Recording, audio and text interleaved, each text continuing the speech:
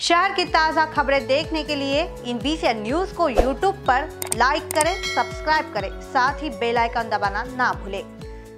राज्य सरकार के आदेश पर नागपुर में मनपा प्रशासन द्वारा लॉकडाउन जारी किया गया था। जिससे कई कारोबार बुरी तरह प्रभावित हो चुके हैं। इसी क्रम में शहर के जिम्नेशियम पिछले पाँच माह से बंद है। अब तक बंद पड़े हुए हैं जिससे जिम मालिक को, को किराया देना बाकी खर्चे बैंक के लोन आदि देना काफ़ी कठिन सा हो गया।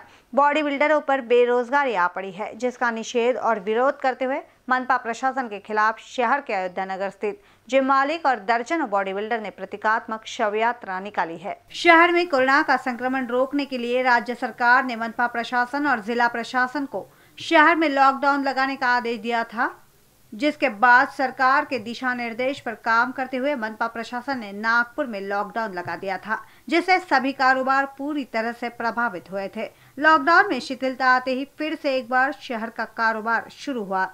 अब लॉकडाउन पूरी तरह से बंद किया गया है, जिससे दुकानदार अपनी दुकानें ग्राहकों को वस्तुएँ दे रहे हैं।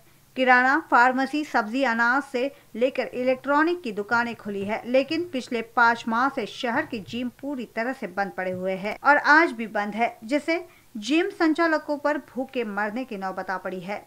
शहर के कई जिम मालिकों को बैंक लोन किराया, कर्मचारी वेतन का भुगतान करना है। टेढ़ी खीर साबित हो रही है। ऐसे में सरकार और प्रशासन का ध्यान इस और खींचने के लिए दक्षिण नागपुर के जिम मालिक और बॉडी बिल्डर ने प्रतीकात्मक शव यात्रा निकाली और इस बारे में जानकारी दी। कोरोना वायरस इस महामारी से हर कोई परेशान है। कोरोना वायरस की जन जागृति और रोकथाम करने के लिए सरकार ने कई कारगर ऐसे उपाय भी किए हैं और जिसके चलते सोशल डिस्टेंसिंग और साथ ही साथ मास्क पहनना सैनिटाइजिंग करना, ये हो, ये बातें अक्सर होती रहती है। अब तक के कोरोना के ऊपर में कोई भी ऐसा वैक्सीन नहीं निकला है। कोरोना का ग्राफ बढ़ते हुए नज़र आ रहा है, मृत्यु का दर भी बड़ा बढ़ा हुआ है। ऐसे में लॉकडाउन लगा था लॉकडाउन के चलते पिछले चार माह से कई ऐसे दुकानदार व्यवसायी के दुकान पूरी तरह से बंद थे। बीच में कुछ शिथिलता दी गई थी, जिसके चलते किराना हो या फार्मेसी की दुकानें हो, वो सिद्ध दिखाई दी। लेकिन बाकी की जो दुकानें पूरी तरह से बंद है, पिछले साढ़े चार माह से शहर के जितने जिम्नेशियम है, ये पूरी तरह से बंद है, जिसके चलते बिल्डर लोगों पर भूखे मरने की नौबत आ पड़ी है। वे अपनी शरीर को बना नहीं सकते, बॉडी बिल्डिंग नहीं कर सकते और उन्हें क्या क्या और परेशानी हो रही है, ये तमाम बातें हम करने के लिए जाएँगे। आज यहाँ पे रवि हमारे साथ में रवि, आप बताए, क्या कहना चाहोगे?